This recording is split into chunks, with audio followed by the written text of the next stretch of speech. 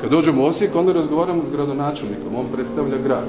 Kad dođemo u županiju, razgovaram sa županom, on predstavlja županiju. Kad dođemo u bolnicu, razgovaram s ravnateljem bolnicem, on predstavlja bolnicu.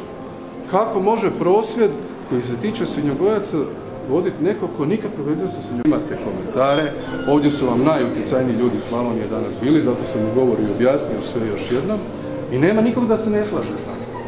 Postoje samo akteri koji su izmanipulirani od strane nekih manjih političkih strančica, ne bi li se njih čulo i vidjelo i kreirala atmosfera u ostalom dijelu Hrvatske kod je neki problem između vlade i hrvatske poljoprivrede, seljaka, slavonaca ili svinjogojaca.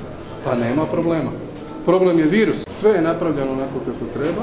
Ljudima je objašnjeno ako ne ulože u svoje gospodarstvo, ako ne osiguraju preduvjete za viši stupanj biosigurnosti, da će svinje koje oni drže na svojim farmama doći u ugrozu.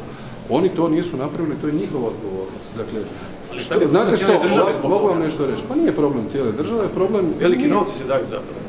Daju, se to daju se, daju se, no, a što hoćete? Hoćete, aha, znači vi zagovarate sljedeći scenarij, ok, hladna i ohola država. Ne, ne, ne, moglo je biti Ne, ne, evo vam scenarij, scenarij, je, je, evo ja ću vam reći, ne, ne, ja ću vam reći scenarij hladne i okole države, ok, trebali ste dignuti nivo biosigurnosti na 3 onda virus sigurno ne bi došao do vaših svinja, vaš je problem što niste, mi ćemo gledati kako vam je uništeno ono što, što radite, od čega živite, još vam nećemo dati novac za budućnost, hoćete to da napravite?